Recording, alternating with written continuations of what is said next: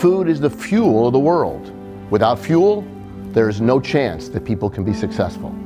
At the Community Food Bank in New Jersey, we solve this preeminent problem of our time the ability for people to go to school and learn with a full stomach, to go to work, to put a roof over their head. That's what we do with the Community Food Bank of New Jersey.